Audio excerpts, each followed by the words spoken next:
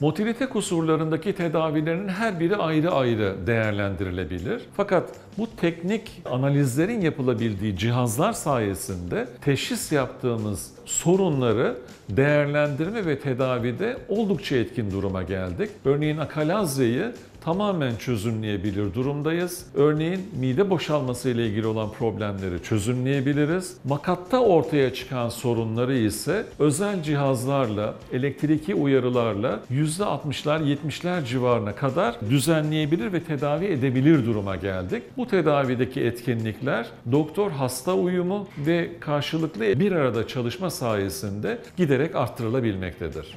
Müzik